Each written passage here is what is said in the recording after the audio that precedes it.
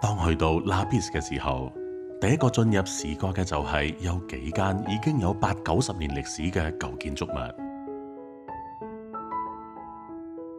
过咗嘅天桥，转个弯就会到达旧街场嘅大街。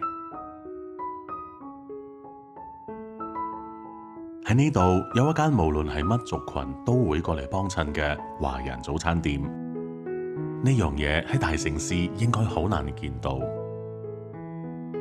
大家都系为咗呢一包包唔起眼嘅夜装饭同埋佢嘅烤面包慕名而嚟。听闻拉比 s 系因为当年一位英国军官听到水鱼嘅马拉名字拉比拉比而得名嘅。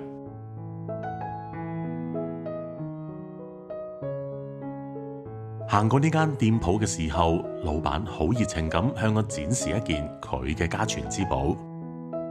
喺呢啲细地方，有嘅就系真诚，绝对冇城市人咁多虚情假意。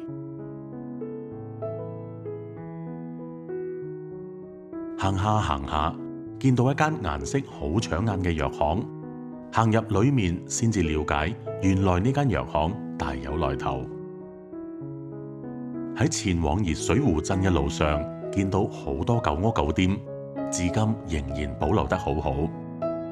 呢个小镇系因为附近有个热水湖而得名，距离拉比斯大概只有十一公里。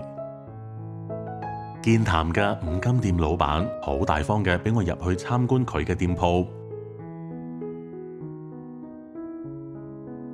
呢条街只有几百公尺，有家庭式嘅餐厅、电单车维修店、杂货铺等等。